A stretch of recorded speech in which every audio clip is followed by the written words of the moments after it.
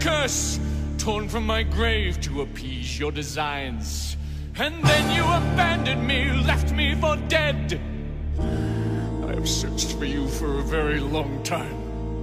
You...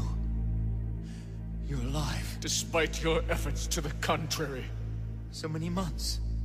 So many miles. How?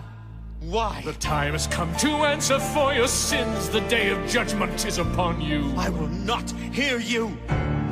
Be gone, or fight me till one of us is dead! You will hear me well. For it is you that is the author of my misery.